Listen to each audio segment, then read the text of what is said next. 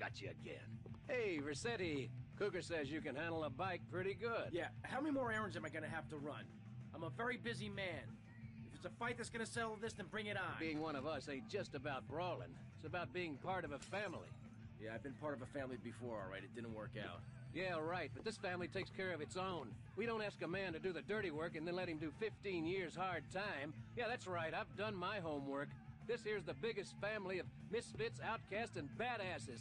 Hell, some of us have even been betrayed by our own country. I was locked up during non-ugly business. Which is why I'm gonna ask you to go mess with the man. This whole damn country needs a kick in the ass, and we're the ones to deliver it. So get out there, grab a bike, and show this city how pissed you are.